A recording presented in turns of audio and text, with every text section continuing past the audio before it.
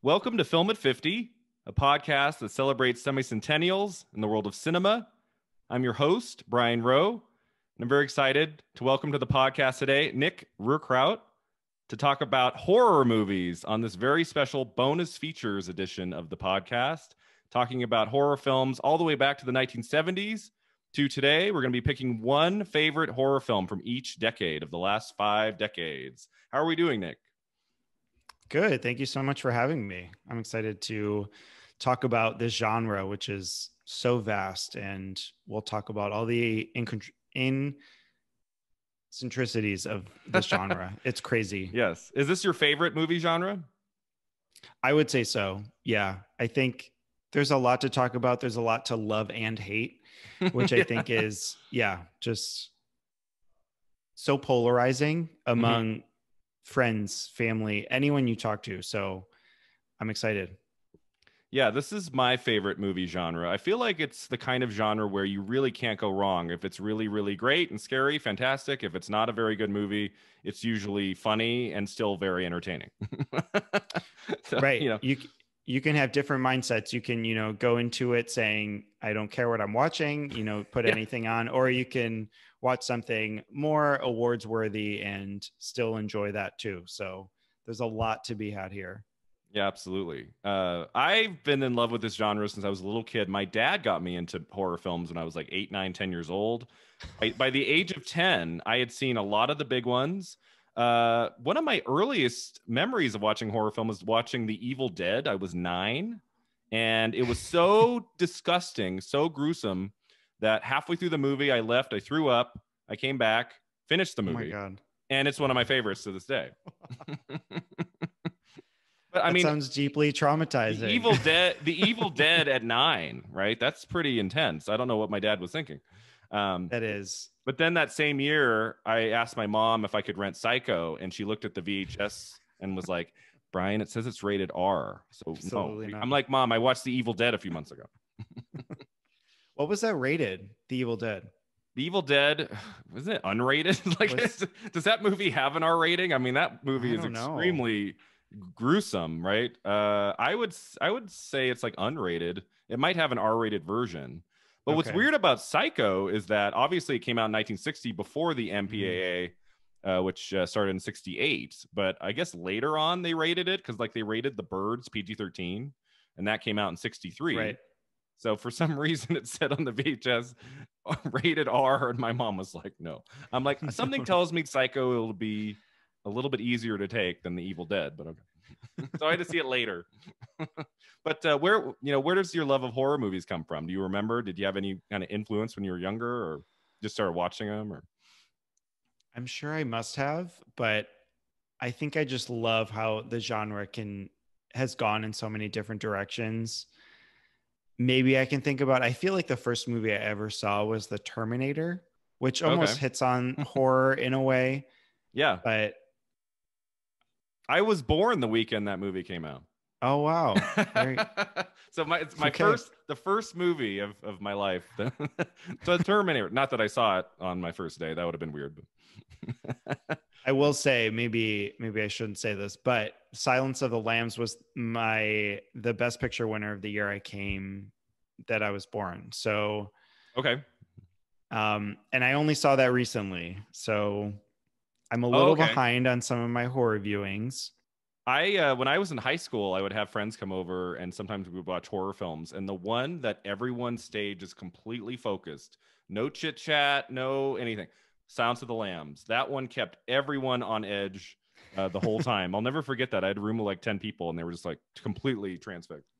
yeah, it's it's horrifying to this day. So, yeah, amazing and, character work there. And we're both super, you know, super big Oscar buffs, and you know, mm-hmm. I always think back on Silence of the Lambs year is so crazy. That came out Valentine's Day weekend, 91, right?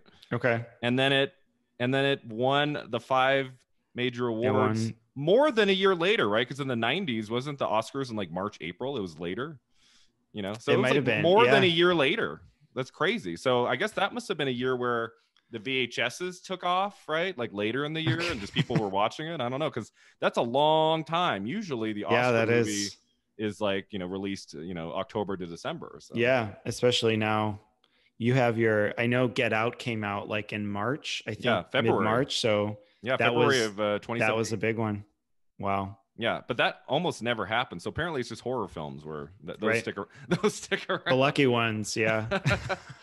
um, but yeah, sadly, for the most part, horror films are not really recognized at the Oscars very much. Silence of the Lambs uh, was definitely an exception, right? So we Yeah. had the year before Only Kathy ba- Kathy Bates won for Misery for Best Actress, um, and then Get Out won Best Original Screenplay. So it happens, but it's pretty rare, right? We don't they don't they're not really taken seriously as often as they should. yeah. The Exorcist was nominated. There Yes. are only like Mhm. six that have ever been nominated for Best Picture. So Yeah. Yeah. So yeah, going back many, many decades, you don't see too many. And some of them I think and which which we'll talk about on the on the episode now. I think uh you know Mhm. some of them were worthy at least of a nomination. Um right. So let's go back to the 1970s. Uh, the podcast, uh, Film at 50, is all about films from 50 years ago. So, uh, kind of launching the podcast now, we're looking at films of 1970. So, I thought it'd be fun to kind of go through the last five decades and pick a favorite horror film from each decade. And then, if you have any runners up, feel free to share them. I picked Okay. I picked two for each decade because it's like it's hard to just just say just talk It's about very one Yeah. uh you know and it's kind of tricky. It's right? Like do you just do you pick the best one? Do you pick your favorite? I just kind of pick the, my favorites. They're not necessarily the greatest movies of all time but they're films that mean something to me and you know Right. and there's not going to be any like huge surprises here. I'm not revealing like a title that you know half of our audience is like what is that about? Like they're gonna be like oh yeah. I don't know about you, do you are you gonna reveal something that i'm like what is that about? Is that you know, No, definitely not. No. um, I think these are all on like top horror lists, top movie lists Okay. of the decades of the century of of everything. So it won't be new, but I think that makes them even more exciting and Mhm. you know prominent in their decade that we Yeah. need to talk about them. Yeah, and I've always thought, you know, if, if I had to pick a favorite decade of horror, it'd probably be the 70s. I love that decade. There's such like a grittiness to the films there, and now that we have the MPAA, filmmakers are free to do whatever they'd like. And this is before like the studio system takes over in like the 80s and 90s, and you know, there's there's so much kind of freedom in this decade. So, um, you know. Everyone's trying to find their voice as horror filmmakers, and you know this, this is the decade of uh, you know George Romero and Wes Craven and John Carpenter Mhm. and um, so many important influential filmmakers. Um, so what uh, you can reveal your uh, your top favorite or if you have any runners up the 1970s what do we like in the horror realm in the 70s So I've only seen a lot of these recently, which is maybe disappointing, but um, I, I did make a list of like by the decade films that came out and kind of figuring out what was my favorite. okay. My my winner, I feel like we need a drum roll. Drum, Drum roll. drum roll is Halloween. It quintessential in horror, and there's just so much to love from this movie. The score, especially, I think, is maybe Mhm. one of the best in any horror movie ever made. maybe the best I- it's I- just like iconic it's so I think we could call it that. Yeah. It, even more than, you know, I watched The Exorcist, which also came out this decade Yep. and also has a great score or a theme, I would call it, because it doesn't, there's not much music in the film. So I'm not sure I can call it a score, but Yeah. it's a great theme. But I think Hollow, is fantastic yeah, but I think Halloween runs deeper and really frightens you, along with everything else that's happening with the mask and Jamie Lee Curtis's performance. And It's everything's so iconic. I mean, just the, just the fact that they were like, you know, super low budget. They're like, okay, what are we gonna use as a mask? Uh, let's go. Let's go look at the costume store. What about this William Shatner Star Trek? Oh yeah, okay. Let's just cut open the eyes, spray paint it white. We're good. yeah, Like I feel like you know, ninety nine out of hundred times that would have been a complete disaster, right? And for some reason, Right. it just works it works. like the, the the cinematography by Dean Cundey, the way the film is shot. Uh, there's such a commanding presence of Michael Myers in that movie, and the mask. I think I think I read or I saw in an interview like uh, it was between that and a clown mask, and I don't think the clown mask would have had staying power, right? I think not at all. W- We get it later on, and that's not near the power Yeah. of Halloween. So Yeah. Yeah. So my favorite film, my favorite horror film of the decade is Halloween as well. And uh, Okay. it's, my, it's my favorite horror film of all time. And part of it is because of when I saw it, I was 10 years old. I was still kind of like getting into horror films. And I still to this day remember watching it late at night by myself, Halloween night. I think it was 95. Um, and it was so terrifying. I turned it off, went to bed. I'm pretty sure I had a nightmare of some kind. Got up and finished the movie in the morning when it, there was light outside. you know, like as it should was, be watched. It was yeah. too much. That was too much. For some reason, The Evil Dead and some of these other ones, they were fine at 9, 10, 11 years old. But Halloween, that was that was way too much. Like I I don't think anyone under 10 should watch Halloween. It's just too scary, you know? Oh no way! I mean, I'm sure it would have an R rating today, and Oh yeah. I I I can't believe you watched these movies when you were that young. Yeah. I Yeah. Oh, I was reading Stephen King at 9, 10. I did a book report. I did a book report of Carrie in the fourth grade and talked about like her menstrual cycle. And the teacher pulled me aside and she said, Brian, you can't. you can't something's not right. she said she said you got you can't talk about that in fourth grade i'm like oh okay sorry i didn't know yeah uh, like by nine i was like goosebumps that's for kids mom i want stephen king. You know? So yeah so i think part of my obsession and love of the genre is that like i was super into it very very young right? So every time i watch halloween and i've i don't even want to know how many times i've watched it uh you know at least once every october these days uh i'm just always just transported back to you know when i was 9 10 11 and just really you know so it's kind of like a, the nostalgic aspect for me is Yeah. important but then beyond that it's just a really rich and you know beautifully crafted film it's like that it was made for less than $350000 i mean it's pretty in- insane right yeah, the the handheld work I think really got me. It's being in that perspective of Michael Myers and seeing him kill these people and through the opening sequence of you know you see through the eye slits of the mask. I Yeah. think that's just adds to the creepiness of what's happening. And there's a scene where the friend is in the laundry room and she has to wash these clothes and he's watching her. And there's so much anticipation building of him killing her because you know it's going to happen. And eventually it does but you waited so long for that to happen it just builds Oh throughout. It's it's so exciting. And you just saw it recently right the, like did. this is I- something you saw probably last month i i last month okay I've done so much homework for, you know, my podcast, Yeah. horror draft, and then this one. Mhm. I'm, I'm, I am exhausted. You're like, can we get to November first? there's a lot.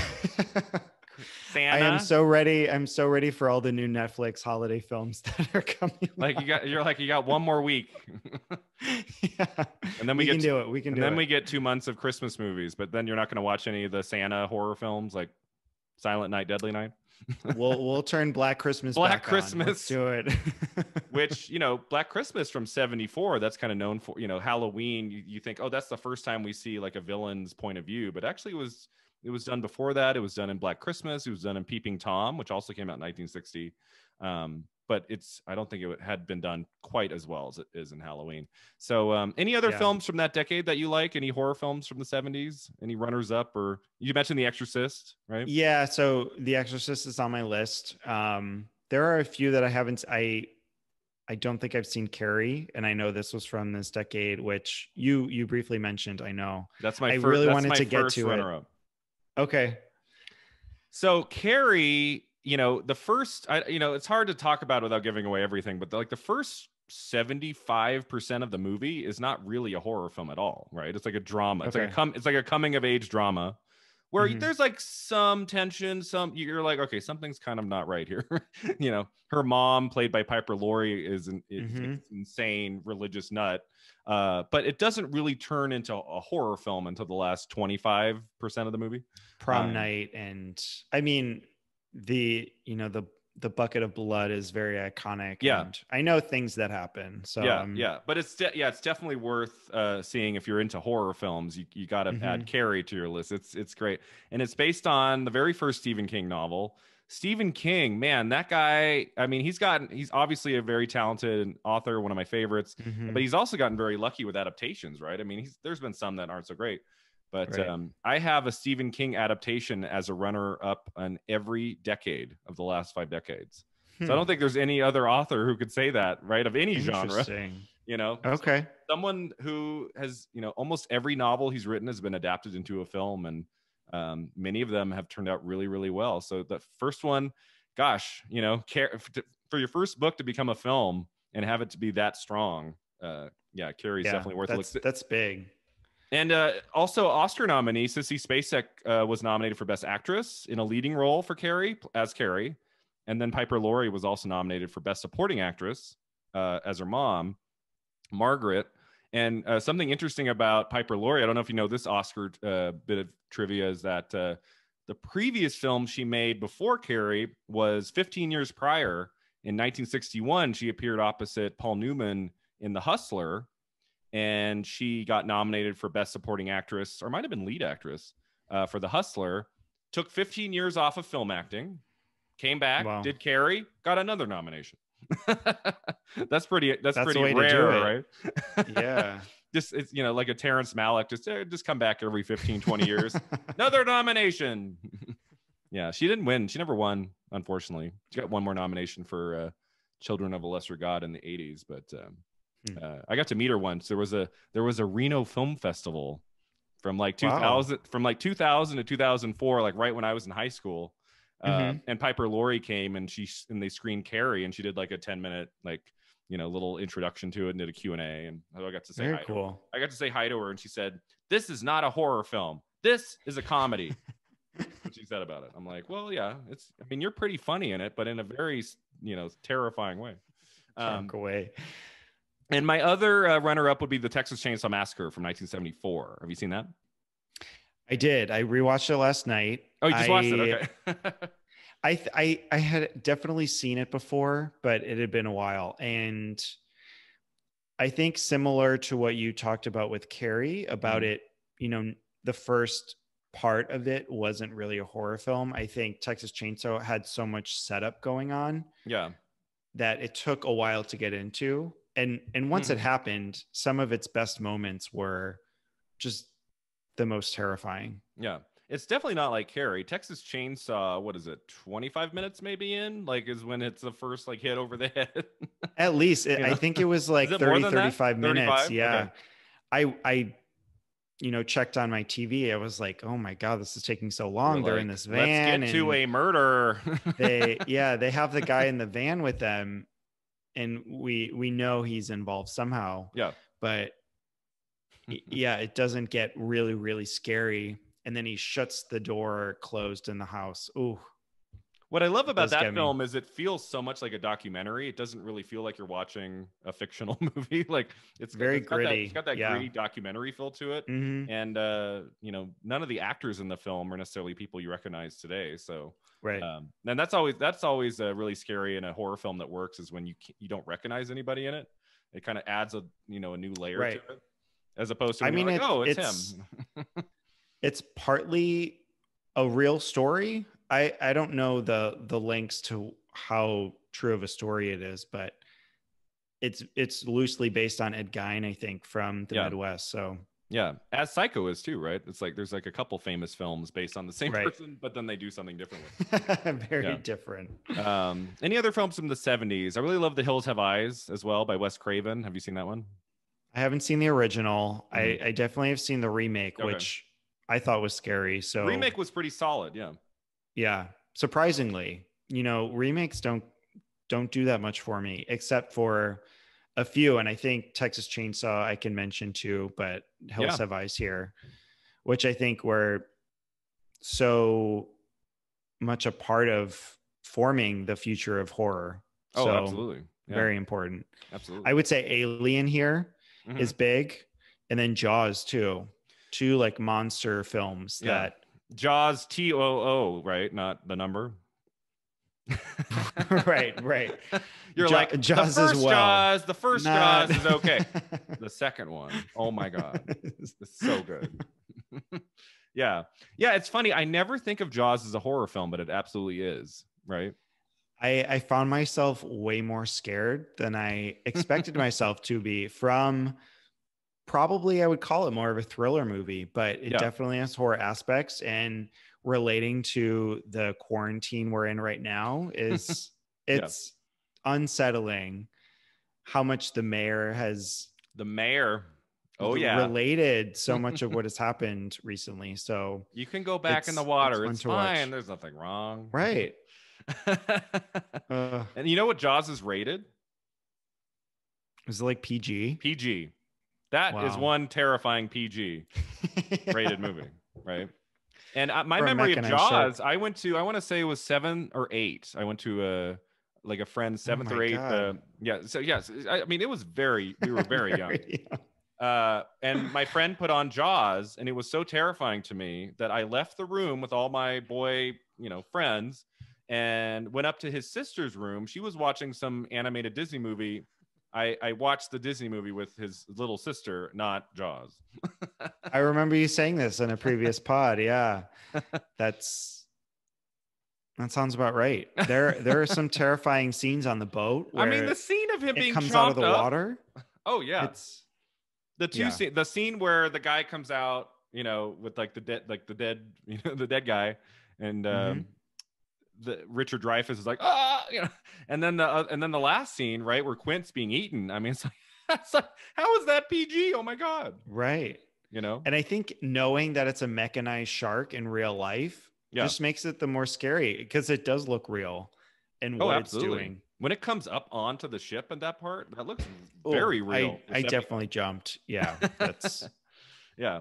So anyway, so that's that's a really important decade for horror, I think, and then that moves into the '80s, which is also a really fun. I mean, you could spend a lot of years just watching '80s horror films. There's so many, Totally. right? So at by 1980, you know, we've gotten Halloween. Now we're getting Friday the 13th, and now filmmakers are recognizing like, oh, we can make these movies for a very low budget and make a Mhm. profit. And so you're just seeing just an explosion of horror films. We've talked on the pod about how the first few years of the 70s, there's not really any horror films. It's kind of like a ghost town. Uh, but when you get to the 80s, they're just everywhere, all over the place. Sequels There's- and all sorts of stuff. Right. There's so much. I mean, Cronenberg is such a big part of the 80s, and I think that forms this gross Yep. but not not so CGI version of all Mm. of this horror that we have today and more remakes. But it it's more of a B movie vibe than Mhm. than not. Yeah. You don't, yeah, very few like really genuinely terrifying horror films from the 80s. They're usually a little bit more campy, a little bit more you Mhm. know more about the entertainment value than anything else um because i mean i mean how many friday 13th movies are there in just the one decade eight right i think there's eight and it's like you know it's wow. like it's like it, do, it doesn't even like the first movie isn't really even about jason and then like the rest of the series he's just like this you know, yeah. mu- mu- you know mutation like and we get. Nightmare on Elm Street, yeah, Yeah. which had so many sequels. I, I'm proudly displaying my Nightmare on Elm Street. yeah. Just got Fred, Freddy. There he is, Freddy. The only person who can play Freddy, and that is Robert Englund. As we learned, I don't know what your take is on the on the remake from 2010, but I I didn't see so Oh, many remakes. I I lost hope in. Did you see the Evil? We can get there, but the Evil Dead remake in the 2010s, I didn't yeah, see th- either. that was really good. They're not, you know, I'm not a huge hater of remakes if they do it well, and if enough time has Right. passed. Um, the one that really just kind of choked my childhood to death was the Rob Zombie Halloween remake. I just, I absolutely detested that movie to the point where, like, I was hard for me to kind of focus on anything else for the first 12 hours after I watched it. But I was like, I went home. I still Yeah. have it. I, I went home and I, I was doing, I was blogging film reviews at the time, and I wrote like 36 paragraphs, just like the Oh longest, God. just the longest review you could ever imagine. just all the hate. Yeah, it was just like hate spewing on the page. It's like, you know, oh, maybe I Just got like ruined.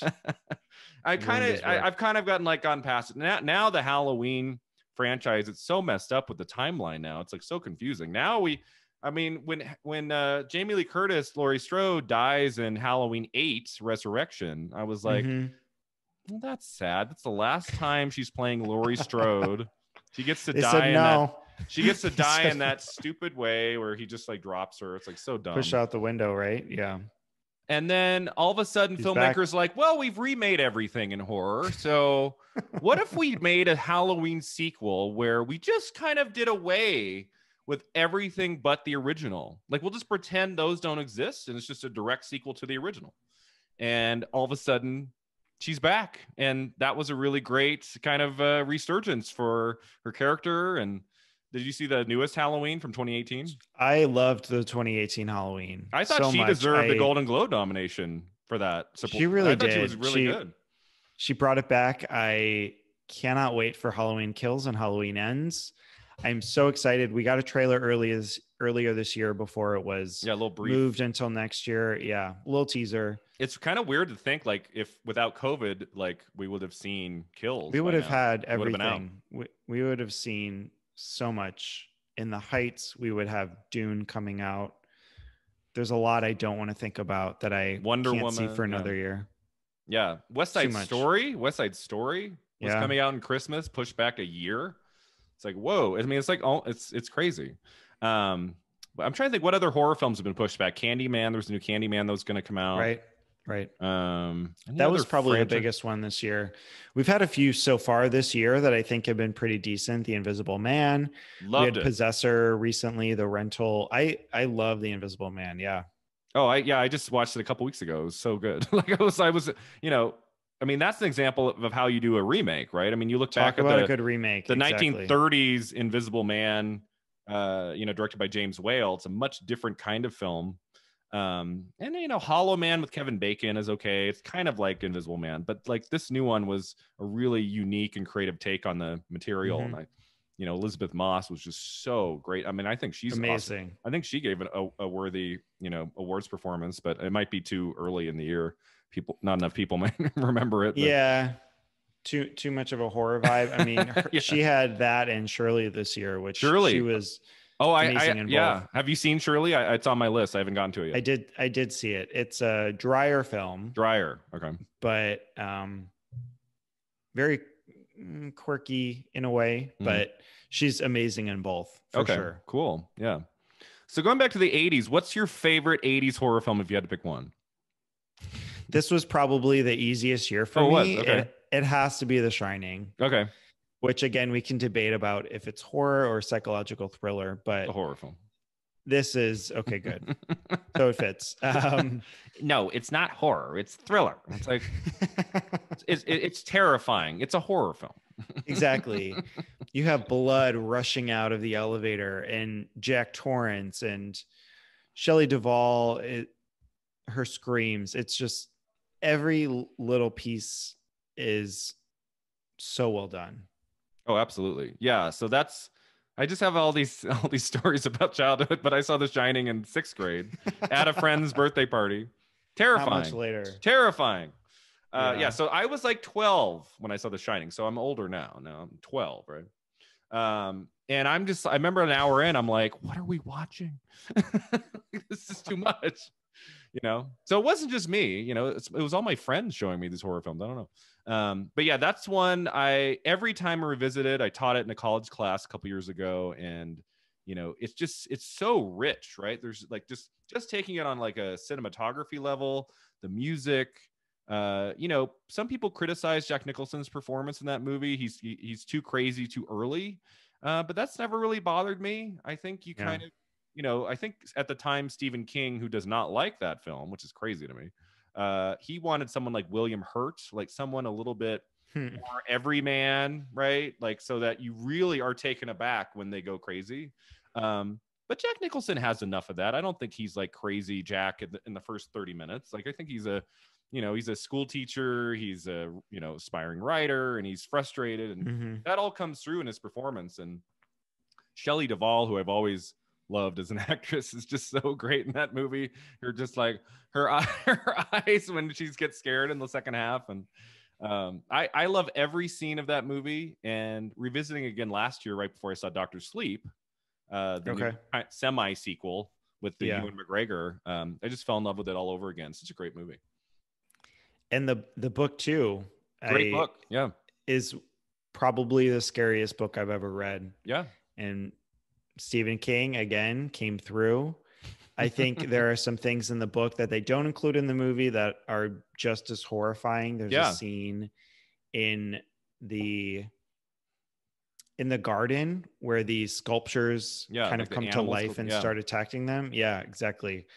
But everything in the movie from every singular aspect from the cinematography, the score, hmm the the introductory scene through the mountains getting to the overlook hotel and just the setting itself is puts you in this crazy mindset and then uh, we Yeah. along the way the colors the the characters it you just devolve into this madness with them I feel so lucky that we got to get a Stanley Kubrick horror film, right? I mean, that's exactly he was a filmmaker who just did all kinds of genres didn't really matter he just if he was you know on board with the story uh the fact that one of his what 12 or 13 films he didn't make very many that the one of them is a horror Mhm. film like this i think i think we're we're lucky that he got he got around to it especially since at the end of his career you know he's making a movie every seven plus years like you know he wasn't working fast so um yeah i just i as you said about the book too the book is very very different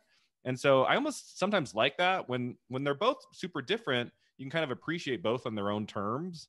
Uh, and you can Mhm. read the like the the psychology of Jack is much goes much deeper in the novel, and you can kind of appreciate that there. But then the film is kind of this other thing. It's more of a Stanley Kubrick movie than it is a Stephen King movie, and you can appreciate that too. So yeah, I think both are fantastic. yeah So any other Yeah. uh, what are your other favorite horror films from the '80s? i don't have a ton from the eddies Okay, the 80s uh I've, I've seen the evil dead I, I feel like it's more camp to me and you know i i think i saw cabin in the woods before e- the evil dead so once i saw it Oh, okay, i yeah, yeah. said wow this is definitely a play on that and kind Mhm. of playing on the camp of everything um Yeah, Cabin in the Woods was fun. That was like what 2012, I think. Um, yeah that was a real- 2010s for sure Yeah. Yeah. So for the 80s, what about you for the 80s, so my my first runner up, my second favorite of the decade would be The Shining. My third favorite, or yeah, my third favorite would be The Fly, probably The Fly by David Cronenberg, which Mhm. you know is is is it's more than just a horror film, right? It's like it's like a tragic love story, kind of science fiction. Uh, Mhm. God, that movie gets me every time. That's my favorite Jeff Goldblum performance. I loved I love Geena Davis, and she's great in it. It's kind of like her first notable role to film is The Fly, and the makeup job, which won an Academy Award for best makeup, is just unbelievable. Okay. That movie, and uh, it's like just gruesome enough that it kind of satisfies like the horror geek in you, but it's also Mhm. it never goes overboard with that. Like it really, you know, focuses on the characters and the story. And the last scene is just so tragic. It always gets me every time I see it. And um, so yeah, I would put The Fly uh, as third, kind of close to Evil Dead. Evil Dead is definitely up there, uh, along with Poltergeist, uh, which is also a really Another fun one. Which uh, has been debated forever. It- Was it directed by Steven Spielberg or Tobe Hooper? I don't know. it it's exactly what it feels like Yeah, it's surprising to you know for him to go from Texas Chainsaw to Poltergeist. It's Yeah. does not seem right. yeah. So I mean, it definitely's got uh, you know some of Steven St- Steven Spielberg's, um, you know, like his sensibilities are, are His mannerisms. Yeah, Yeah. exactly. But for and that's another one like Jaws that was rated PG, right? And Poltergeist is pretty scary for PG. like Yeah. not, it's not a movie you would show little kid. I think they would have nightmares for many weeks. Um, but my favorite, if I had to pick a favorite, uh, you know, I'm a huge Wes Craven fan, and uh, Nightmare on Elm Street, There you 1984, Nightmare on Elm Street, Freddy Krueger. uh, you know, I love the series. I love most of the sequels, and especially Wes Craven's New Nightmare from 1994. Okay.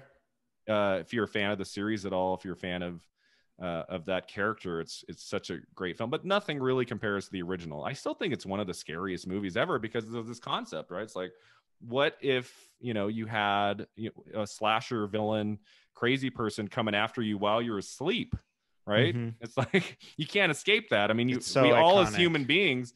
And what's crazy, it, it took him three years, three years, Wes Craven, to convince anyone to, you know, pony up the budget to make the movie. And because they all thought, Wow. well, this isn't scary. It's gonna be, it's about you know, a you know, a guy coming after teenagers while they're asleep. That's not scary. It's dreams. Who cares? But it does really kind of hit you like this idea of like, what if you had no control over that and someone was trying Mhm. to kill you in your dreams, and if you don't wake up, you're dead. You know, it's like it's a great concept, and you know, it, it was like low budget enough to where he's not overdoing some of that corny you know mid 1980s cg effects and all that stuff. Mhm. like it's it's got Yeah. just enough like okay. But uh, a lot of practical effects great. Final girl leading lady heather uh, langenkamp in that playing nancy. She's great in it. And then robert englund wes craven wanted a big burly guy for, for freddy and robert englund stumbled into the audition and it was like okay this is not what i expected but let's go with it what a great masterstroke because he was perfect for this role yeah i i think it plays so much better with someone who is more everyday looking in a way at least Yeah. body type wise Mm. and except for the face right Scars are- right the burn the burned The face burns. um but he seeing him running after these characters in this movie is terrifying and you just want to Yeah. scream for them yeah and i did watch i watched the trailer i haven't seen new nightmare okay but I saw that it was like this very meta Mhm. performance of Wes is in the film and he's creating this movie Yeah. and he's coming back to life through this movie, which is a very Wes Craven thing to do. I feel like. Oh, the the concept's fascinating, right? Because Freddy's Dead: The New Nightmare came out in '91. That ended the series. Freddy Krueger dies at the end. It's over. Uh, and Wes Craven's idea to do one more would be, well, what if af- now that we've killed off Freddy in the films, like his soul, his essence has now been resurrected into the real world, and that version of Freddy is now going after the the cast and crew that were involved in the Uh-huh. making of the movie. I mean, that is a fascinating idea. I think the the only way that got made was that it was Wes Craven who had Right. enough you know power in the 90s to do that. So I mean, it's so interesting. It's a really cool horror film. Yeah. Have you you've seen the original uh, Nightmare, right? I've seen the original. How Okay. many sequels were there? So there, there were a number, right? yeah, so before New Nightmare, uh there are six. There's um Okay. Well, I was gonna So- say five or six. Yeah. So there's uh two, three, four, five, six is Freddy's Dead, and then New Nightmare is technically seven. And Okay. then only the only ones after that are Freddy versus Jason from 2003, which is which is a fun one, super fun, It is fun. I do like that one. and just the remake and from 2010. It's kind of crazy to think in the last 20 years. I mean, we really haven't gotten a whole lot of uh, Nightmare on Elm Street content. Same with Friday the 13th. They've been kind of like hibernating. Um, I thought with the release of the new Halloween, I thought, okay, maybe maybe they'll bring back, Bring Night- back a Night- little bit. Nightmare. You know, do like a direct sequel to the original of Nightmare or something. That could be fun. But I haven't heard anything. Well, when did we have the sequel or the the newest Nightmare? Because that was in the 2010s, right? Didn't The we get a remake? The remake was 2010. Yeah. Okay, That was I uh, didn't see that. Rooney, Ma- I didn't Rooney Mara is Nancy in that movie. Okay, and then what the later the same year she's in the social network and then a year later she gets a, a nomination for girl with the dragon tattoo so that was kind of like her like her transition to some better parts after the nightmare remake. Um but yeah i, I just think I, I think if you're a fan of 80s horror I, I think one of the essential the iconic films you have to see is is the original nightmare right? So some of the sequels are better than others but the first one still works really well. Any other films from the 80s that you like? Horror films. You, you know, I saw Child's Play recently. That's a fun one It's fun, but wow, is it just? Ooh, I don't know if it holds up. It's Oh, you didn't think it held up? Yeah, kind of crazy. it's a little cheesy. It's very when he's wa- when he's walking at the end, he looks a little fake. He's Yeah. walking the whole time, and then he's burned at the very end. And his body parts are shattered, and he's still alive. It's it's a Yeah. lot. Yeah, I like Um, Child's Play. I prefer the goofier Bride of Chucky with uh, Jennifer Okay. Tilly. That one is probably Mhm. my favorite of that series. It's so great.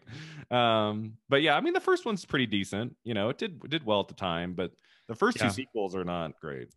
two and three. Um, which came out in the early 90s, which was not a great time for horror outside of like uh, Misery and and Silence of the Lambs. Yeah. Um, Yeah. I'm trying to think any other horror films from the I- 80s. I mean, I, I have my list here, and I Yeah. haven't seen a lot of these 80s ones, but um, The Thing was another big one. hmm Yeah, that one hurt uh, John Carpenter, who directed Halloween, of course. I, I guess the thing Mhm. in '82 didn't do re- didn't do very well at the box office, so that it kind of it took him a while to kind of come back from that. Um, Which is kind of crazy to think that that movie didn't do well because uh, I think part of it is it came out in the summer of '82, and there were so many kind of iconic films that came out that summer, including Poltergeist and E.T. all came out Okay. uh, that summer. Um, Uh, like if you look at the list of like May to July of '82, it's just like every weekend there's like an iconic film. It's like oh my god, we don't really we don't really get that today, you know. That's amazing. Yeah. Especially not today. yeah, exactly. Waiting, Yeah. waiting, waiting. All right, so let's get into the 90s. So, what is our favorite horror film of the 90s? Which is not, you know, that decade for horror outside of like a few exceptions of, um, you know, important It's film. It's a little chaotic this decade. Trying to, Um, try, we're trying to find, you know, the voice of horror in the 90s. Like, what, Yeah. what, what do we want to be, you know? so I think what becomes the face of new horror is Scream, and that's my pick for best of the decade. Yeah, me too. It's it's meta, it's scary, it's camp, it's fun, and, And it holds getting up. that It's still great. so so well. The, honestly, the whole initial trilogy of one, two, three is just so fun. And I even watched Scream three recently, hmm and people people hate on it, but it's Yeah. sure it's still fun. You, you know, it's it's part of that world, and Yeah. it's so fun to be in it. And getting that initial sequence with Drew Barrymore and running, and you know, you Yeah. feel for her, you're you're rooting for her, and she gets tackled. And Ghostface, yeah. I think, is such an iconic mask Yeah. in horror hmm there's just so much to love about it and their their twist endings um all of the killings in all the films it's just it's so much fun and i every time i watch i'm scared i'm screaming i i'm clutching onto the the couch Oh, absolutely. Scream is a very important movie in my life. Uh, I saw that when I was 12 in the theater. again And the yeah, they're all they're all the my favorites all from like when I'm a kid. But that's one of the, one of the last movies I remember seeing where I walked in knowing absolutely nothing. All I knew was that Wes Craven, who had made night who had made Nightmare that I'd seen, had directed it. I didn't know what the story was. So when they're doing the movie trivia at the beginning, that's like 12 year old me's like 12 year old me's like, no, the answer is not Jason. you idiot. No, it's the mom. you know, I'm in the back of the theater. Uh, but that that opening 15 minutes, however long, I mean, that is still probably the strongest it's sequence of any Scream Mm. movie. It's so, you know, intense, and there's nothing funny about. You know, people think a Scream is like a comedy. Some people think, oh, it's kind of more funny than scary. But that opening 15 minutes is terrifying. That is not no. There's no funny moment, and I think Scary Movie has done such a good job Yeah. of making it funny. that we think. You know, that, you yeah. have you have the Jiffy Pop, you know, as big as Yeah. a balloon, and all of these moments from Scream Two also, and it's it, it, it's such a good time. I would rewatch these every year. yeah. Are you? Do you like the fourth one? I love the fourth. one. Okay. Okay. You said the first three, so I was like, oh, does that mean you don't like the fourth? Well, one? so so I, I rewatched three recently, Oh, okay. and it's framed as this trilogy because Yeah. The rules of the bring trilogy. in exactly. So I think the fourth being this reboot of the genre and what this world is was fresh and exciting. Mhm. So obviously it's a part of the world, but I think of it almost as a different entity in in the Wes Craven universe. Yeah. Also yeah, and, and that's it his was- last film too. The last film was Yeah. Craven directed uh, was Scream Four. Yeah. Um, and now I'm I, I'm sure you know that they're in production right now of Scream Five with new Yeah. directors. The directors of Ready or Not, which I still have not seen. I need to watch it. It's on my list. Ooh, that I've it- heard it's really a good. really good one. Yeah. Yeah. But uh, I'm I'm excited. I'm like as long as like Sidney, Gale, Dewey, they're not like the opening As kill. long as, uh, You know, if they bring Yeah. back Nev Campbell, it, like there were like six months. I was like, is she doing? Is she gonna do the fifth one? Finally said yes. I'm like, I'm like, if the directors are big, big, big fans of the of the series and want to, you know, pay, you know, justice to Wes Craven, and they're not gonna kill off Sidney Prescott in the opening ten minutes. They're not gonna do that, right? as long as it's not H, you know, Halloween, Halloween resurrection. Resurrection. let's let's hope not. you know, I don't But- think I don't think Campbell would have signed on if that was the case. I would be surprised. No, and I, I haven't listened to it yet, but Jamie Lee Curtis and Nev, Nev Campbell did an interview recently. So good. And I think she talks about, you Yeah. know, Scream 5 and if she wanted to do a new version without Yeah. Wes. And Mhm. I, Yeah, she said they wrote them a le- the directors wrote her a letter saying, you know, Scream is the movie that got us Please, into please. filmmaking, and you know we want to do this with you. I yeah, I think I think they're gonna pay respect to the cast and to Wes Craven and and make them like a really you know three dimensional characters, you know, big force in the Yeah. movie, and not just like kill them off in the beginning. The audiences would go nuts; You- they would hate that. you really can't. And I don't think they would have signed on. I'm sure they read the script beforehand, and there's no way they would have signed on if you know No. something wasn't Yeah. right. So that's very exciting. I thought And I thought they were gonna kill uh, Sidney at the end of four when she stabbed Yeah. her, and she. I'm like, it was close. It was close. I'm like, she and is I- not dying by Emma Roberts. no. that was a big like Toy Story 3 moment where you're like, Yeah. wow, this is happening. This is the end. And They're holding hands about ready to be burned alive. Thank you, Uh, Pixar. Um, so when uh, at the end of four, when she act when she does like you know electrocute Emma Roberts, and she says Yeah. that she says that just iconic line. Um, you forgot the first rule of remakes, Jill. I the, I think the only time I've ever done this in a theater, I saw it opening night, packed crowd. I literally jumped up in my and went, yes! I was so happy that Sidney Prescott was not going to die after four movies. By that, That was just- by that brat.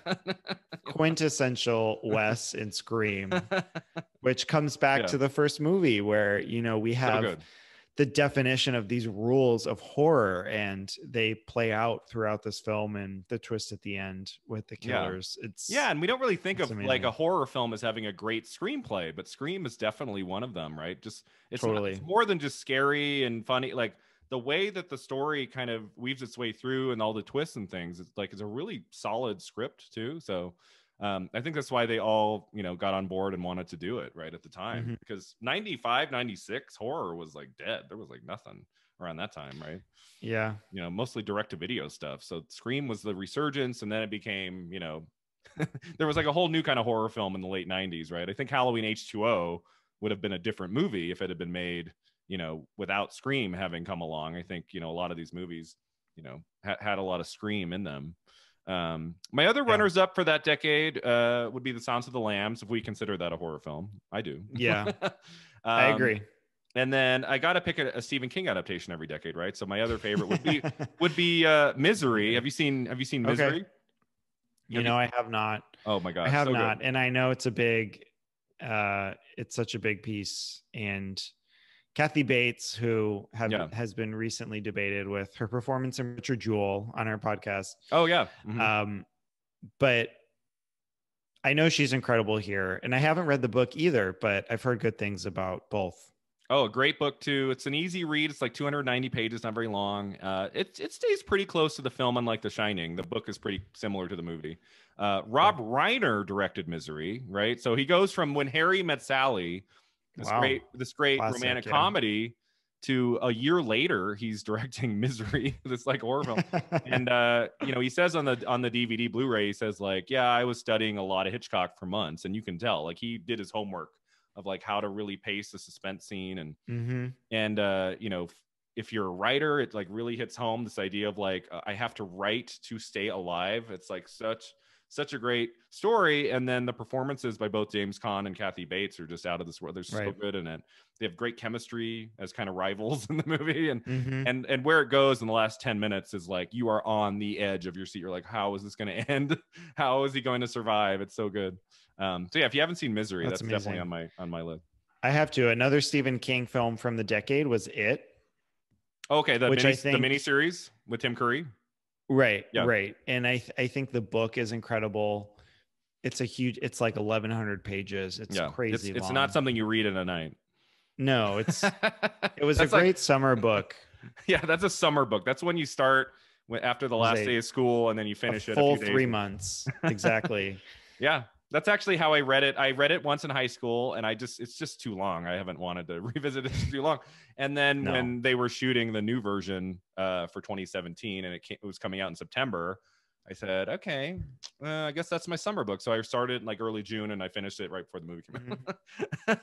I- was. I- that was fun I- I watched it before the remake and was so disappointed by the remake. And I think the original is a lot more campy, Uh-huh. which makes it more acceptable and fun. hmm Uh, You Okay. can't really beat Tim Curry as uh, Pennywise.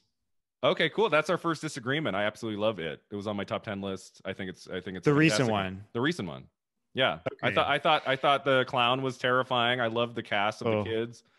You didn't think the clown I- was scary in the? in No, it? I, I really didn't. And maybe it felt too over the top for me. okay. But a lot of his accent, his like high pitch accent, and the CGI work that happened yeah, around there's him and his too movements. Yeah. and I think that kind of took me out enough where I was like, okay, this, you know, but it wasn't what, what. I what I enjoyed about it is that it, it was it was like two and a half hours. It took its time. You really got to know the kids. There were lots of scenes of them just kind of being kids and being together. It was like a really nice like coming of age. It wasn't just about Mhm. the scares, and I kind of appreciated that. It could have been you know a 90 minute movie where it was just about this this clown and the scares. but Right. it really like ta- it takes its time.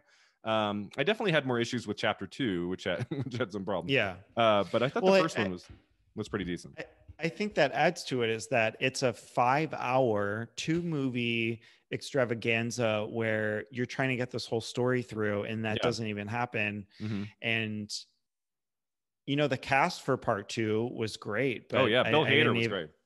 I didn't even see part two. Oh, you did Um, see. I, I was intrigued by the story of the more adult versions of these kids in the in the book, but Mhm.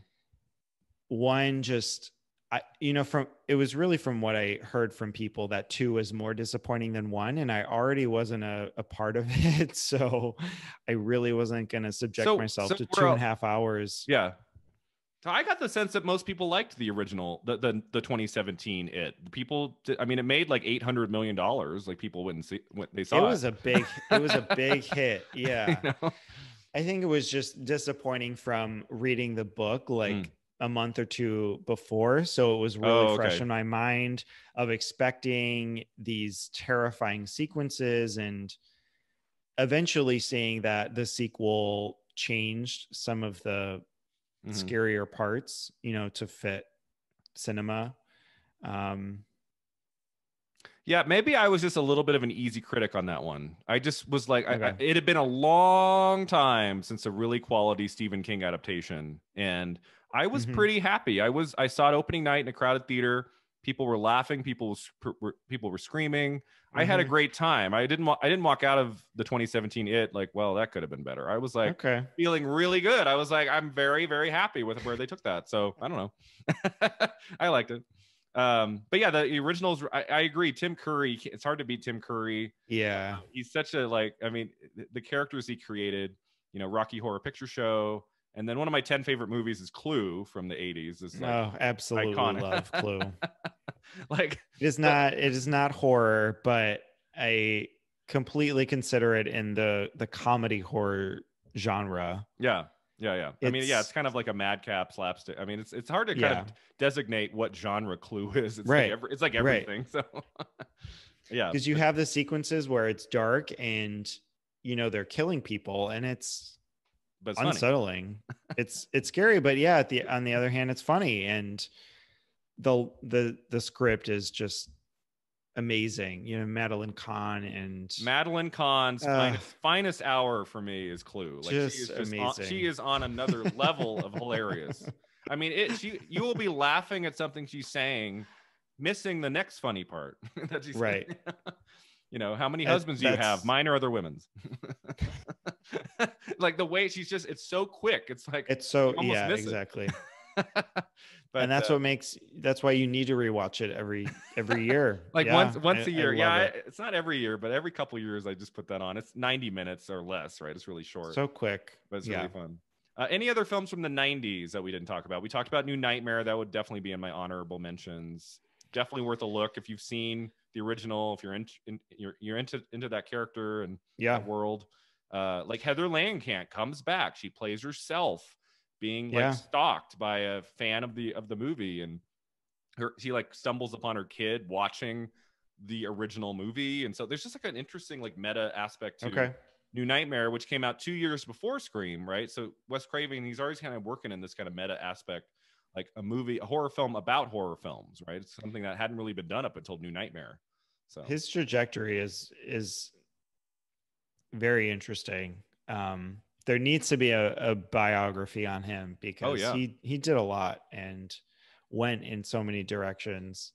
I think another one that stems from Scream is I Know What You Did Last Summer. Yep. That's from 1986 or 1997. Yep, uh, 97. Um, so yeah, that was the second uh, script by Kevin Williamson that got, uh, was made into a film, and not so much like Scream, more of a traditional horror film, but that's a really fun one too. I like that one. Mhm. A great slasher. Even the sequel holds up to me. It's it's fine. It's you know not as great as the I, Sarah sti- Michelle Gellar I, sti- version. I still know. yeah, you have Brandy. yes, you have Brandy and the uh, tanning booth. It's it's a great film. You know, it's terrifying. You have this man who won't die, and it's it's a fun time. Yeah, the second one is more fun than scary. Like, there's actually like some scary moments in the first. I know. Right. um, real quick, you, you you know you're talking about Wes Craven. I mean, I would you have a favorite horror director? He would probably be my favorite if I had to pick one director of horror films. The one where it's not just one or two of their movies that I love. It's you know their whole career. You know, Wes Craven goes all the way back to Last House on the Left in '72 and Hills Have Eyes in 77. And he was a college professor. Like he taught English. And then like at 30, 30 years old, he was like, you know what? I think I want to go make, make movies. That's You know? awesome. So he's had such a fascinating career. I actually interned for his company in 2007. I went to film school in Los Angeles, uh, worked for his company for four months. He came in one day in four months. And it was a big deal. Like, like I was like working on something, and yes, may I help? Oh, uh, yeah, hello, Mr. Craven. you know, do you need coffee? You know, ring the bell. and the movie, the movie of his that came out that that semester I was in college was The Hills Have Eyes Two, the remake, where which he co-wrote with his son Jonathan. Um, and so I got to go to the premiere of the sequel, and I got to go say hi to him at that. And Very cool. That's and I'm awesome. and I'm like, you know, I want what I want to say is not your strongest, Mr. Craven. But instead, I was like, "Oh, yeah, so nice to meet you." Um, so yeah, that was really fun. And I actually, uh, I wrote a screenplay about his life a few years ago. It's just sitting in the Oh drawer. I don't really know what to do with it. It's called Craven yeah. and it's about it's about the making of Last House on the Left. It's about his transition from teaching to becoming a, a horror filmmaker. So it's about like a kind of like that Lincoln idea, right, where you just take a little small window Mhm. of his life. And yeah, I was like Ryan Gosling should play him. Like I like I was like I casting ideas. I don't know. I don't know what to do with it. I've like sent it out. You're yeah. You're sitting on this biography that I just I'm like, this mentioned. could you get this yeah. could get Ryan Gosling an Oscar you gotta pick it up. yeah. So yeah, I'm a big Wes Craven fan, and hope hopefully hopefully that story will come to fruition one of these days. I Um, think he he he is one of the bigger ones. I think we have Ari Aster recently, yeah, which we just have to see what he does with his career. But he's had two such strong films so far in the past few years. So I'm excited to see what he does. Oh, absolutely. Yeah, I mean, talk about, and we'll get to him at the end. I'm sure. I'm sure we're going to talk Mhm. about Ari Aster. Uh, you know, I've ne- I don't think I've ever seen such a confident debut of a film, a horror filmmaker Totally. like that. Um, but before we get to the pre, the the newest decade, right? So let's look at the 2000s. Between Yep. 2000 and 2009, anything in there that you thought was really great horror wise?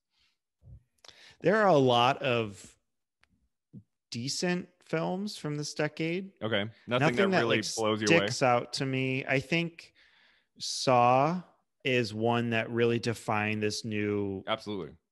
few, you know, couple decades of gore and Jigsaw as this new villain, kind of. Um, Really, really fresh in the original Saw. Not so much by the time we get to like the seventh one.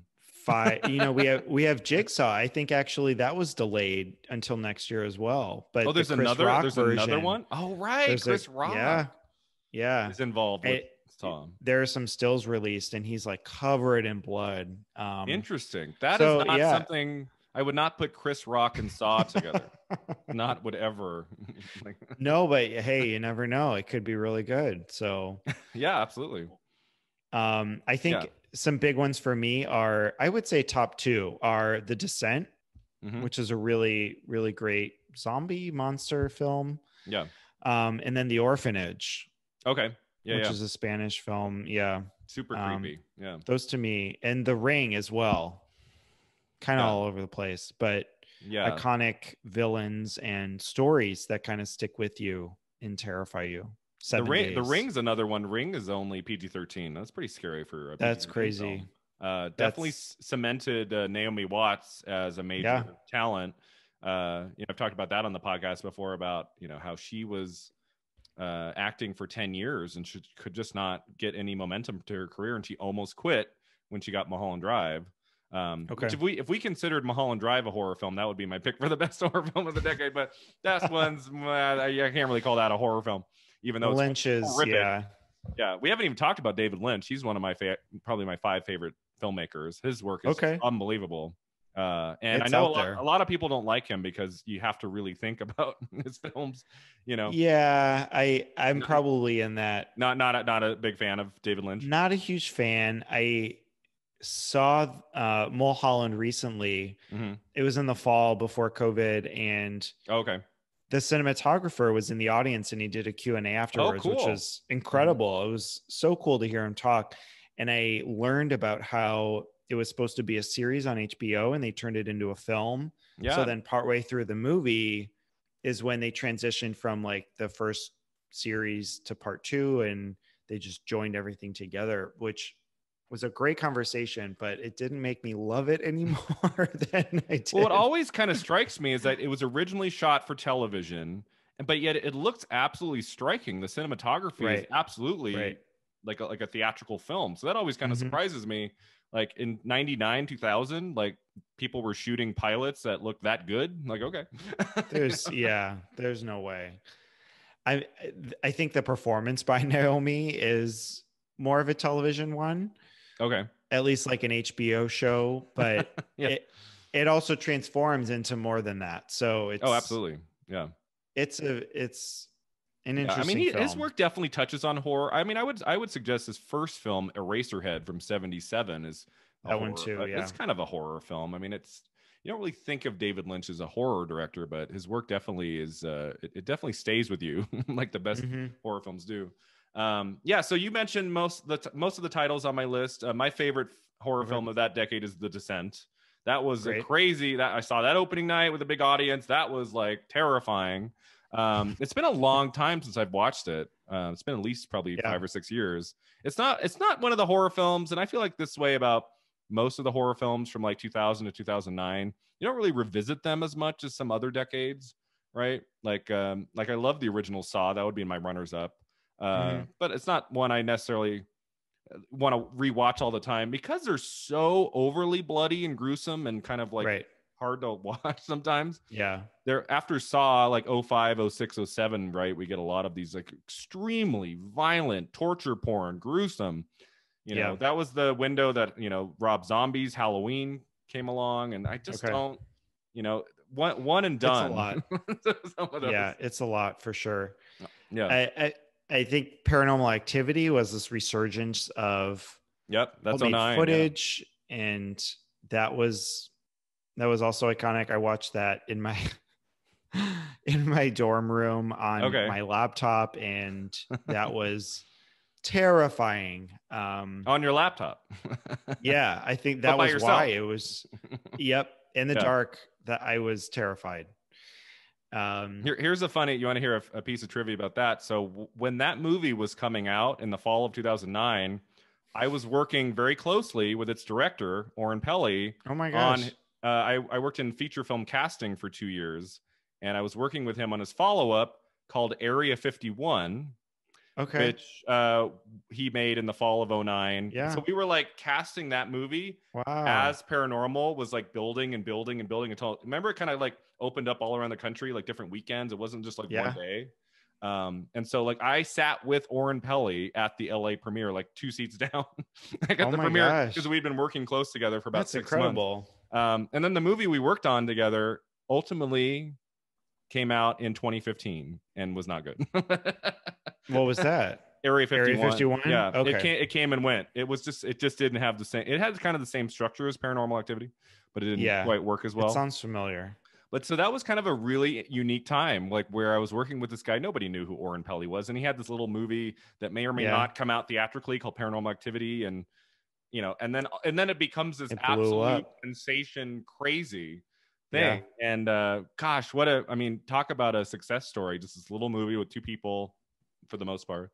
Um, and it's terrifying that last five minutes. I mean, it's like, like really, really well done. And Yeah. the fact that it started as like this little home movie to i mean he talked to me like yeah I, did- I was hoping to get into some film festivals like that was it i didn't even think it would come out theatrically so so pretty crazy yeah uh, so yeah that would definitely be in my runners up would be the, the first paranormal i like some of the sequels the third one i remember was pretty scary but uh, the first Yeah. one's definitely the best Even two was decent. I yeah they all play in kind of different tropes of the genre in different settings. So Yeah. This is also the decade we get a lot of remakes, right? We get Texas Chainsaw Right. kind of started us off, and then we get Dawn of the Dead. Uh, we get uh, The Hills Have Eyes. We get Halloween. I mean, Friday the 13th was 09. Uh, pretty much every franchise got a remake between in that like 10 year period from like 03 to 2013, right? Pretty much everything. Okay. uh, a Evil lot. Dead, we Evil had Dead came later, 2013. right. Uh, we have two Bong Joon Ho films from this decade: The Host and Mother, which are Mhm. I Yeah. love Mother so much. Yeah. Terrifying. Maybe, you know, maybe not horror. I also I can mention I saw The Devil, which came the next decade, which is just so gory, Mhm. but it, it rests in this Korean horror genre, which is incredible. And they Yeah. they kind of do horror like no other. Yeah, we haven't uh, we haven't really talked about foreign horror films, and that's the one kind of side of my horror movie past Mhm. that it, it's it's lacking for sure. I need to kind of Yeah. explore more uh, foreign horror films. Uh, but yeah, I've seen both of those you mentioned; those were really strong. Audition is really good. That came out, I want to say '98, maybe. I don't. I think it was. bef- 90s. yeah, that was the '90s. That one I watched on Shudder uh, about a year ago. That one was really good. That's really well. done. That's really gruesome. yeah. it's, then- not, it's not an easy watch. by any means. That's no. That, Um, and then oh. House, we get back to 77. House. On Which is- Criterion label. Right. Yes. Yeah, I watched that. That's great. Great Um, unexpected, I guess, is a word I would use. That's uh, that's an odd one. Yeah, and I just remembered. Uh, I think 06 it came out was High Tension, which was a foreign film that then they dubbed. Okay. They dubbed into English. The version I saw, uh, it was like a what was it? it was like a screening that I saw like before it was out or something, and they had the the foreign film with subtitles, and I loved that. Uh, apart from like the last 15 seconds, like the last, you're like, uh, I don't know about that last little twist. Um, but for the most part, that was a really great film. So yeah, there's there's been a bunch. I should have written a few more down. I just maybe can't think Yeah. of them right now. Um, this but- is the the decade that I have the most written down for. okay. Yeah. So any other? I have one more to talk about. Uh, You know, we haven't talked about Stephen King in a while, so we got to talk about Stephen King. I know you said you have one from every decade. could- the could- other could- one, Yeah. Go ahead. the other one I'll mention before you mention him is The Strangers, which Oh, is right. Yeah, yeah. just downright terrifying. Also, so good, so good. That came out on uh, what was it? Uh, two years ago or something. I, I came across like a five dollar copy of the Scream Factory, uh, you know, Blu-ray disc that they did for for The Mhm. Strangers, and it had a lot of cool like bonus features. Um, and I hadn't seen it since it came out, and I forgot how scary that is. That's a really yeah, really great movie. it's Liv the Tyler and Skeet, uh, Scott Speedman and the mass of the villains, and just this idea that you could be in the middle of nowhere and just at what 4 a.m. you just get a knock at the door, and it's like, uh, you know, that that's like my like worst nightmare is to be like alone in a house, like somewhere maybe like not where there's people, get terrorized. you know, yeah, kind of like the opening of Scream, right, where she's alone in that house on the farm or Mhm. whatever. Uh, but uh, this idea that what if someone knocked on the door at 4 a.m. and would not leave, and you know, for whatever reason, you can't call 911 or like, like there's no way out. Uh, yeah, that's a really good one. Uh, so the Stephen King adaptation of the year, it's not perfect, but I love is The Mist from 2007. Did you see that? Okay. one?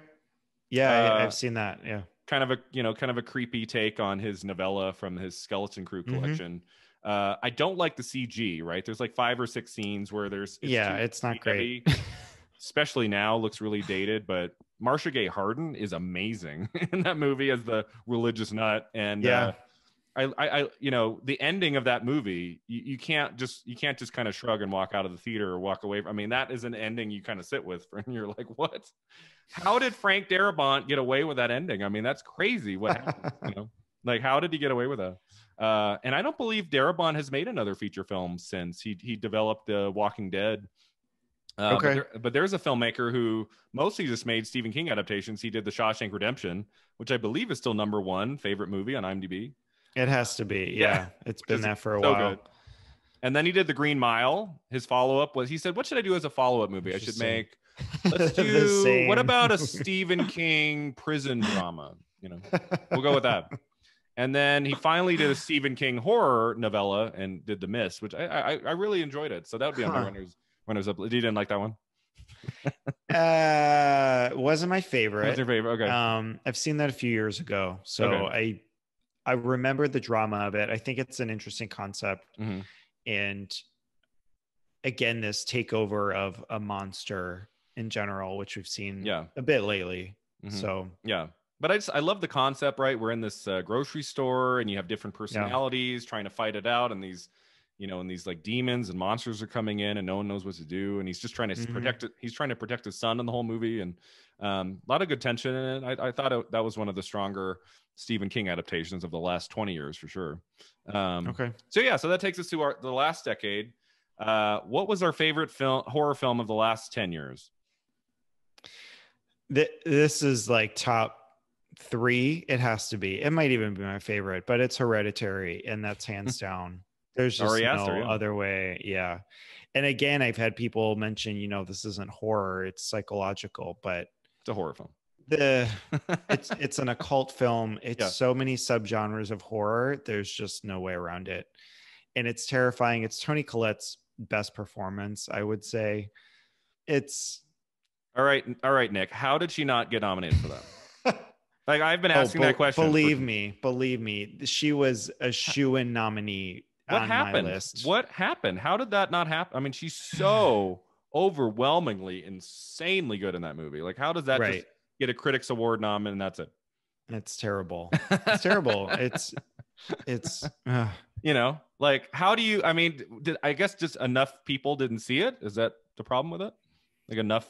it's probably a horror thing. I mean, horror thing? you know, horror was so undocumented in awards history, as we've Yeah. kind of mentioned, and you know. I mean, Kathy It's- Bates. it's If sad. Kathy Bates can win for Misery, I feel like Hereditary. right, Toni Collette should be nominated. I mean, it was it I mean, it was incredibly a- so. Yeah. It was a pretty strong year. I mean, Melissa McCarthy and Can You Ever Forgive Me? Do we have to nominate that over Toni Collette? I don't know.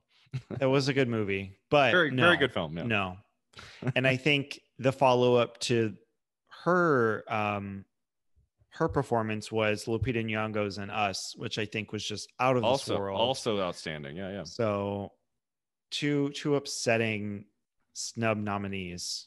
Yeah. And Toni's rant as you know her mother speech will just go down in history as one of the best ever. At, at the dinner table with the three of them. yeah. yeah. I've shown that scene to students. Students who have no idea what the movie's about. I just show them that. And then I say what this is how you write a movie. and then I This is how you say and it. then I and then I say deserved a nomination, right? And they're like, what? Um, but yeah, I mean, the acting across the board in that film is really outstanding. Um, I'm blanking on his name. Uh, Nat Nat Wolff is that his name? The boy, the son. yes, yes. Nat Wolff. He's great He in that played- movie too. Yeah. I, I dressed up as Paimon for Halloween last year. Nice. The the broken nose and the the crown. Yeah. yeah, that scene in that scene in the classroom, right? It's so good when he's like like really. Terrifying. Um, Bang I just aside, remember I remember how exciting it was to sit down for that movie. It had been a while, right? Since a really great horror film. And I just remember like 20, 30 minutes in, I was like, you could just kind of feel like this director knows what he's doing. He has, you know, obviously an affection for this genre. And there is no, there's no accidental steps being taken here. He is taking us on the journey, and I, I am trusting in him every step of the way. uh, you know, even moments that are kind of slow, don't have a lot of scares, whatever. It's always like a fascinating story. Um, you know, the character. I think the best horror films are when you really identify with, you care about the people on the screen, and you really feel that way in Hereditary. I mean, you have this clucking noise as this iconic score in a way or Yeah. theme, and that only adds to it. And he he really really redefined this framing for a horror film. I mean, nobody expected that 20 minutes in, what, you know, I'm not going to spoil it, but what would happen would happen. And it just changes the entire dynamic of the film. And from Yeah. there on, you're just, you just sit back and you just have to take it in because like, you don't okay. know what's going to happen. You, you Anything can't can expect anything. exactly. Anything goes Yeah. and that's just what's so exciting and you have Ann Dowd in this performance that you know every time she she kills it too um Oh yeah, I love Ann Dowd in, in anything. Like she she'll she'll pop up in a minor film and she always makes it better. Uh, yeah, and she's great in that. Um, yeah, I just like you know that scene you're talking about. We, we won't give it away, but you know every other director would have left it at that. Right? That's shocking enough. We're like in awe. We're just in Right. complete shock in that's, the audience. that's a finale But then he takes it further and takes him home. And then we leave the camera on his face while Collette discovers what happened. Uh, and we just stay on the boy's face as he hears her, the mom screaming. That's when I was like, okay, this is not just going to be a solid horror. this film. is not to be- okay this is going to be something really spectacular. When we got to that part, I was like, oh my god.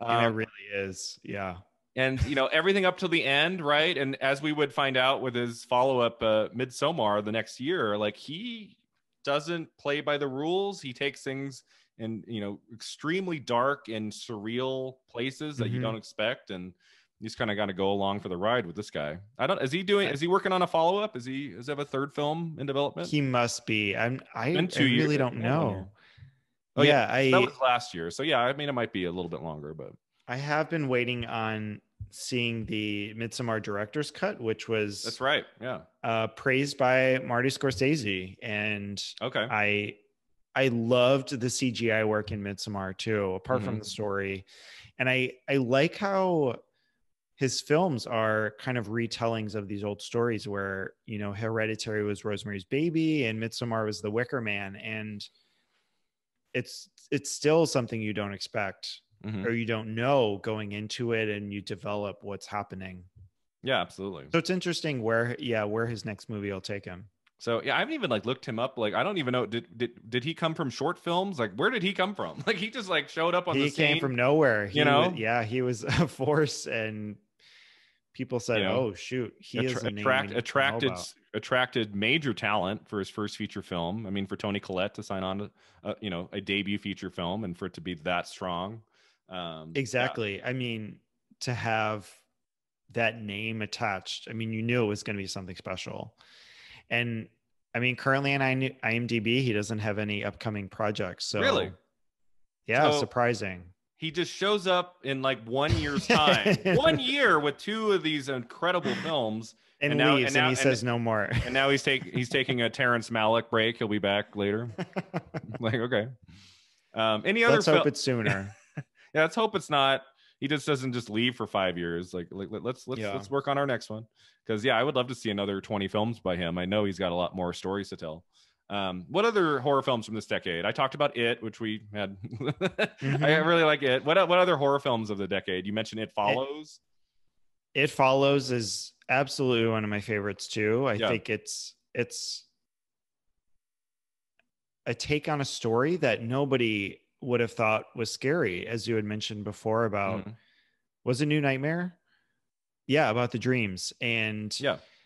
I think it's done so well with the cinematography and the camera work and using these really disturbing characters as you know the old woman who's following her through the mm-hmm. school and even the pool sequence and you know how it leaves you on this feeling of wanting to look over your shoulder i i absolutely loved. And that would that it was a silent you know sleeper from sundance it just yeah Kinda oh, oh shook that played at everybody. That played at sundance i didn't know that i think so yeah it follows Yeah, I mean, it's got a definite John Carpenter feel to it. The music is very John Carpenter.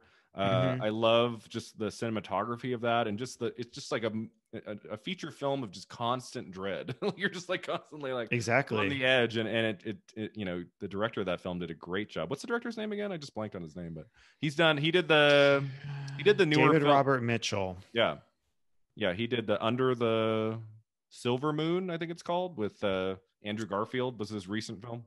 Uh, That yeah, he- was that was not great. that was didn't- that was, I did that not was like that that was not quite it follows um Right. i mean but again like really cool cinematography and stuff but uh, yeah i think it follows is most successful work so far it's really great I think another one for me. I have a lot from the 2010s, but Okay. I've, I've mentioned Cabin in the Woods briefly. yep that's a good it's one It's a great comedy camp edition on you know kind of take on Evil Dead and a lot of horror of Yeah. the past few decades. hmm Uh, the Conjuring is another big, I think, stepping stone into demonic horror, hmm which we don't really have done well. And you- re- I mean, the last really big film of that is Rosemary's Baby. hmm 1968. Um, I and so I have a controversial take on The Conjuring. I saw The Conjuring opening night with a lot of friends. I did not find it that scary. I thought Ooh. The Conjuring 2 was absolutely terrifying. I Okay, prefer well- the sequel. The second one I thought with the nun was like that was too much for me. I couldn't take. uh, I I admired the Conjuring one more than I was really terrified by it. Right, like I re- I enjoyed the ride, but I there was not a single Yeah. moment of the first Conjuring where I jumped out of my seat or was Mm-hmm. genuinely scared. It was the sequel that did that did the job Okay. for me. well, you know, But whatever both, makes it work. I yeah. think but both of them are really solid films. Yeah, I think Insidious kind of plays on this too, where good very good. Um, PG thirteen, which is insane. How was that PG thirteen? maybe we just need to look at the the PG thirteen horror films that come out and and only watch those because those those are hits. yeah, exactly right. Yeah, Insidious films are really strong. I've se- I think I've seen all the sequels. I think the first one's the best of the group in that series. Okay. Um, I also I like- mean, you yeah. mentioned. Sorry, go ahead. Oh, I was just gonna, I was just gonna say I also uh, really like the Sinister from 2012. I thought was pretty pretty spooky with Ethan Hawke. And you're like, no, that was stupid. It's- I I think it was stupid. I think parts were spooky, yeah, but it made me jump a It- lot.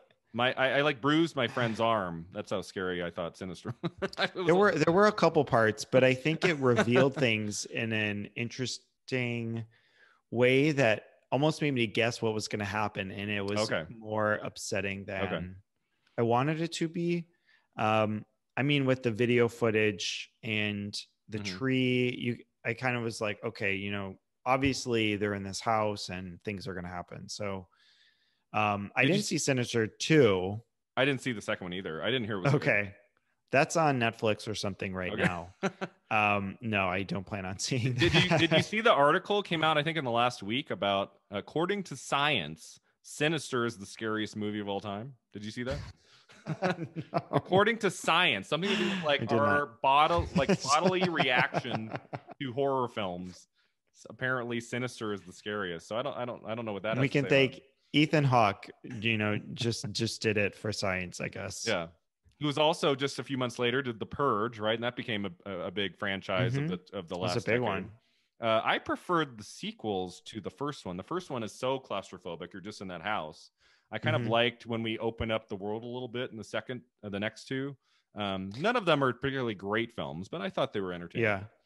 I think it's a really cool concept. I haven't seen any of the purges. Okay. I think it's just too close to reality, maybe. But I Election I do like the idea. Yeah. the third one. I, I'll get to them eventually. Any other horror films from from the last We- decade uh, that we haven't talked about? We have I've got so I've got many. one I've got one more.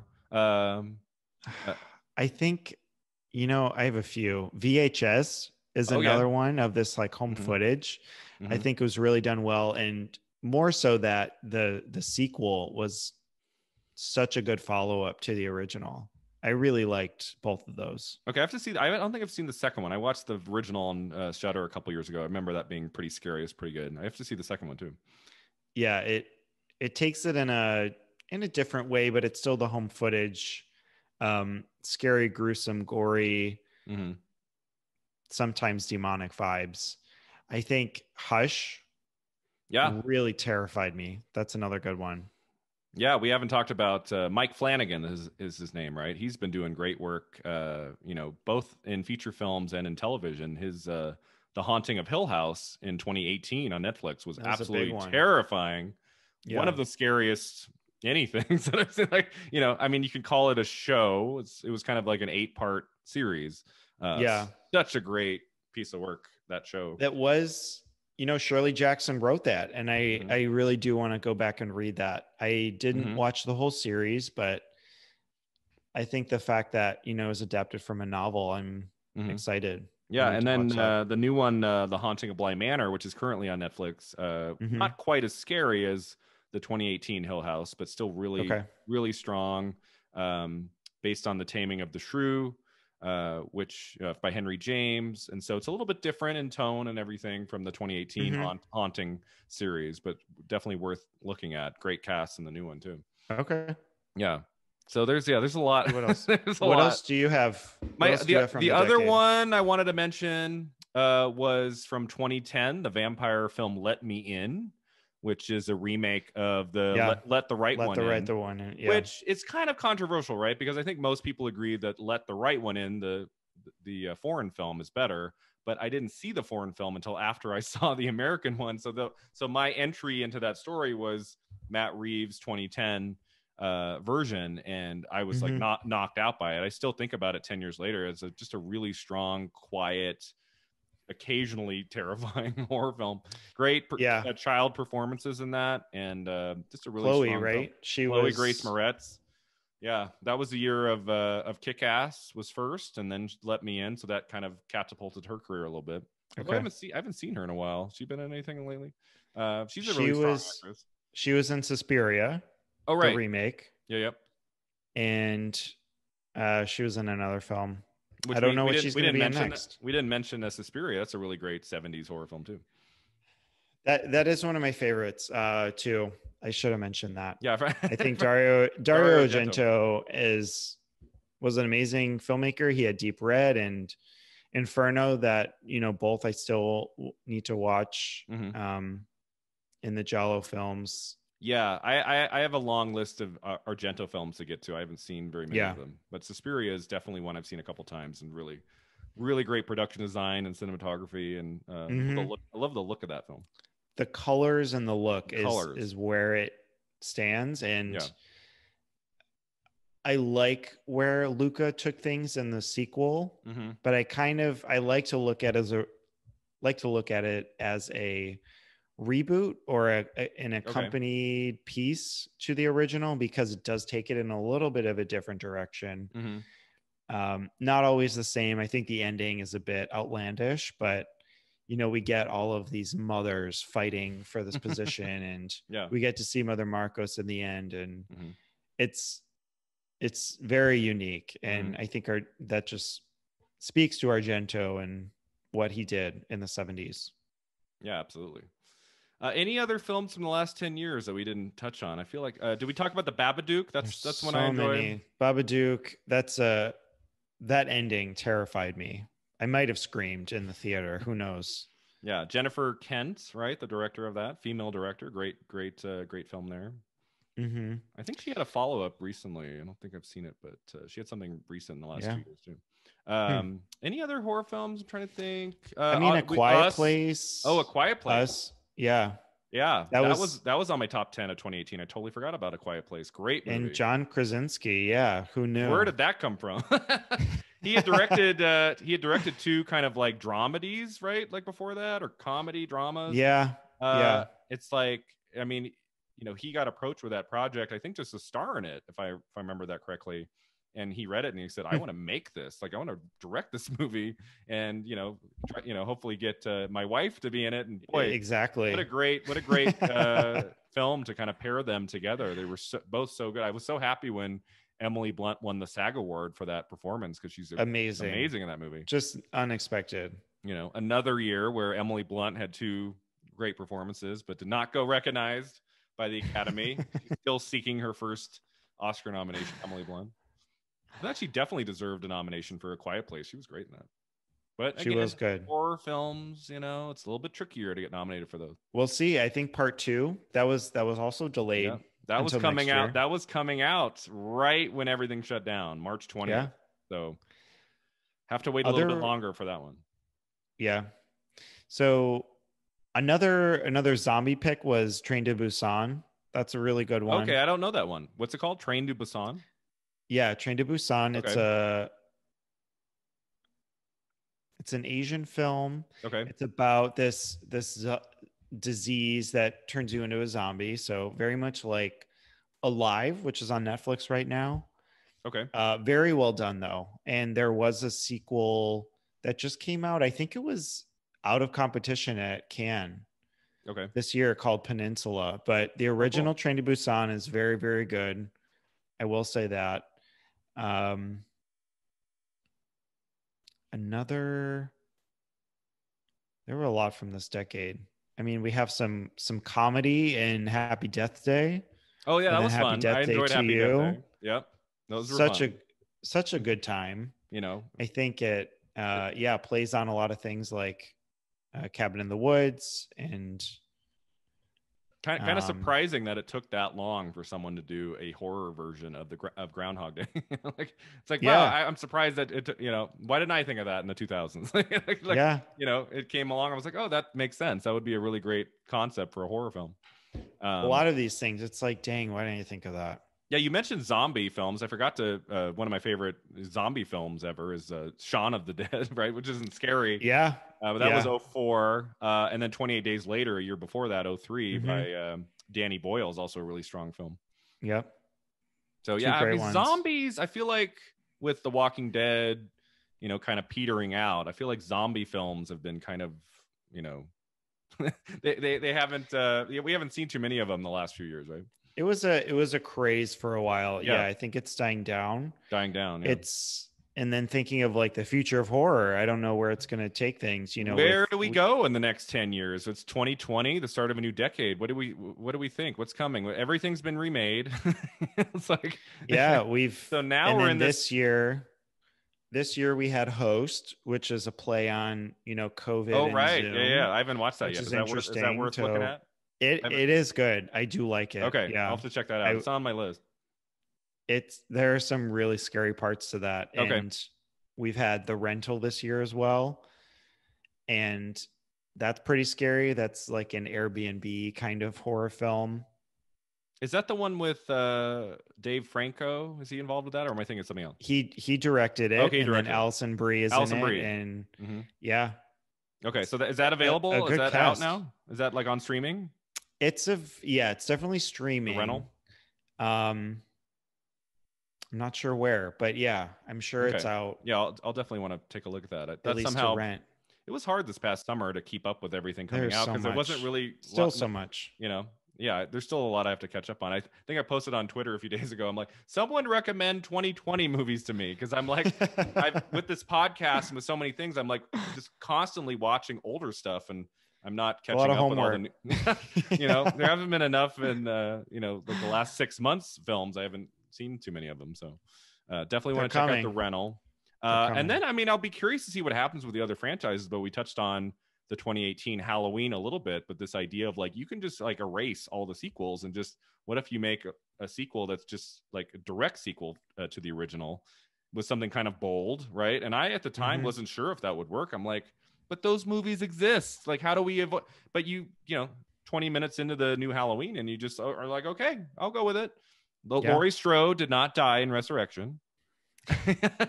he's back and gosh it was i was just watching the new halloween like i'm just so happy that we got another laurie Right. strode movie with with jamie lee curtis kicking ass in that third even act, more yeah even and all the little touches to the original right of like the granddaughter looking out the classroom window and seeing not michael myers but laurie strode and then when she falls off the roof at the end and Michael gets that experience of turning around and the body is not on the ground. I mean, there were so many cool touches that always felt authentic and true to the story. It didn't feel like just, you know, David Gordon Green winking at you and like I Right. you know, it wasn't a perfect film. There were some I I had some issues with um that like Dr. Loomis character guy. There were some things about it I didn't love, but for the most Okay. part I was really happy with it and I'm really excited to see Halloween Kills, which I which I guess brings back a lot of the same characters from the first movie, uh, including many of the same actors who some of Mhm. which have kind of retired, haven't haven't been seen. I, uh, Charles Cyphers, who played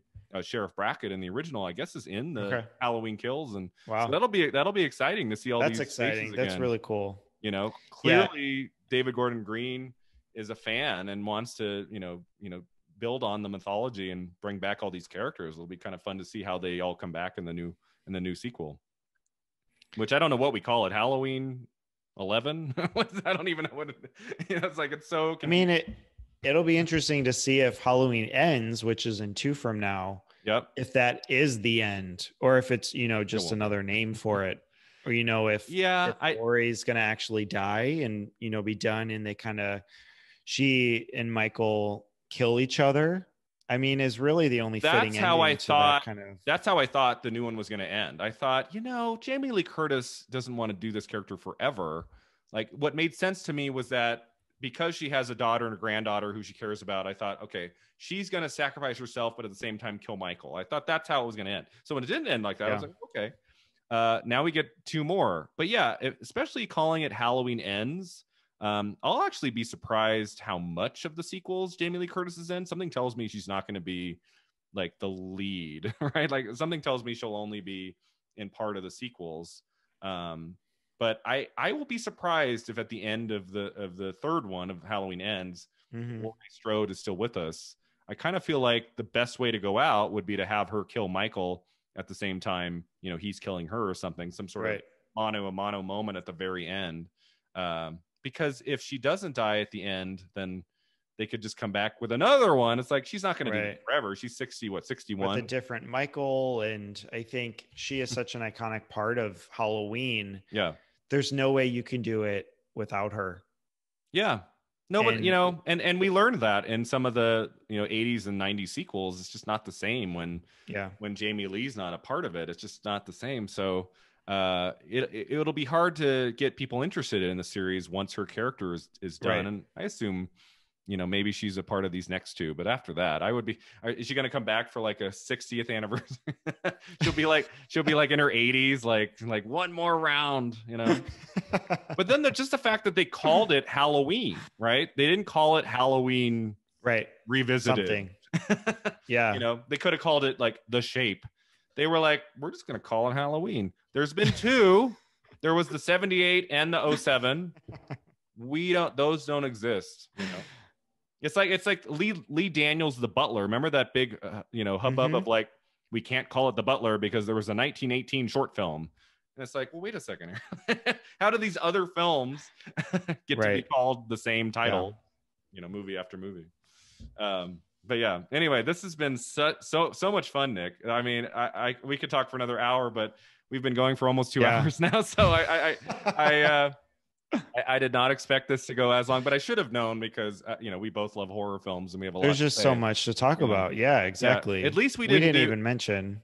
I mean, I'm sure there's many we didn't we didn't talk lot, about. yeah. We didn't even go into horror films prior to 1970. So I mean, that's a whole other conversation. We left out Hitchcock entirely, which I think is probably for the best. Yeah.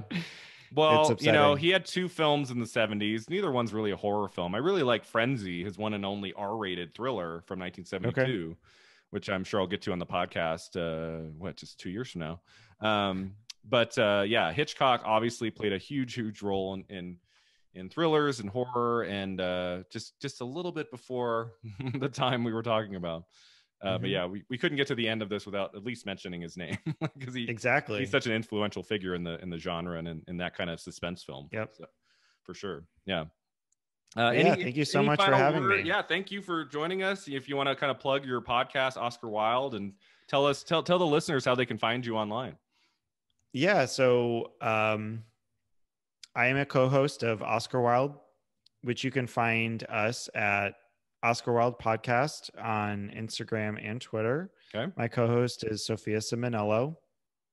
And we talk about everything from movies to the Oscars to everything that's going on now and old films with the Oscars, Best Pictures. We've talked Mhm. about decades and years and kind of going on what what you've done so far and where you're taking your podcast. Mhm. So lots of different ideas and um